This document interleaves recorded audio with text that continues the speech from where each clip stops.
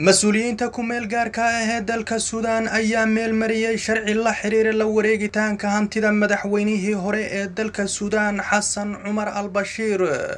iyo kala diridda xisbiga golaha qaranka ee dalkaasi ee uu hogaaminayay al bashiir intii u dhexaysay sanadii kun sagaal boqol sagaashan iyo labadii ilaa labada kun iyo sagaal iyo tobanka oo xilka laga tuuray. Sidoo kale sharcigan ayaa ku saabsan xakamaynta dhaqanka iyo dumarka ra'iisul wasaaraha suudaan cabdalla xamdu ayaa ku guuleystay hogaaminta guddoomiyenimo ee urur goboleedka igad. Xilli master xamdu uu xilkaasi kala wareegayo ra'iisul wasaaraha dalka etoobiya oo muddo xilkaas soo hayay doctor abi axmed wadanka jabuuti waxaa maanta albaabada loo furay masjidkii ugu weynaa dalkaasi masaajidkan oo loo bixiyey suldaan maxmuud ayaa halkii mar qaadi karaa ee ku dhowaad lix kun oo ruux wasaaraha ciraaq cabdulmahdi ayaa sheegay in uu maanta waraaqidiisa iscasilaada horgeyn doono baarlamaanka dalkaasi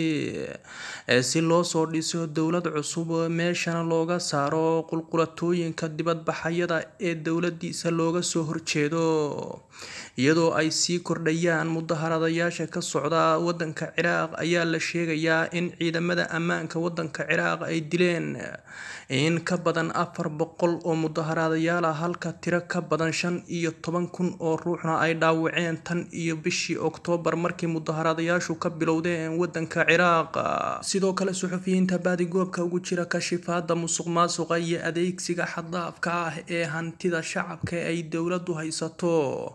ayaa la sheegayaa in ay wajahayaan halis hor leh kuwaasi oo khatar ugu jira cagajuglayn iyo hanjabaado uga imaanaya ciidamada ammaanka wadanka ciraaq. Wasiirka arrimaha dibadda dalka turkiga maflu jafaulo ayaa madaxweynaha faransiiska emmanuel macron ku eedeeyey in uu weligii taageeri jiray kooxaha waxqarbuda ee argagixisada.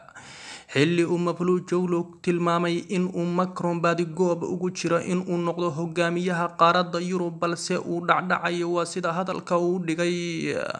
Wasiirka arrimaha dibadda wadanka turkiga